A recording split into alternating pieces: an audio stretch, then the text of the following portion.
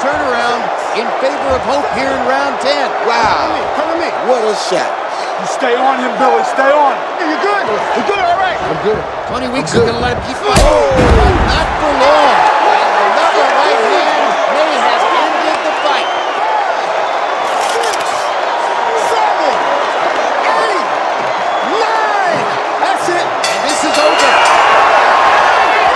A comeback knockout win for Billy Hope. I told you, Joe, as long as there's a Billy, there is hope. He always has a chance. So light heavyweight champ Billy Hope has a fourth consecutive title defense in Madison Square Garden. Now let's go to David Diamante for the official particulars on the KO.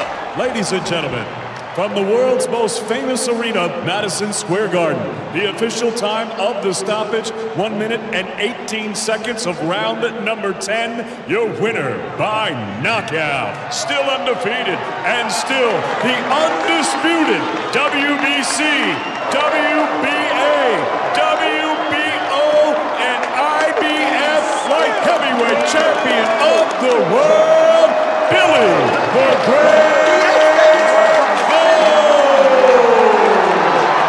reminds us of the great late Matthew Saad Muhammad. Just when you think there's no hope left, here comes Billy.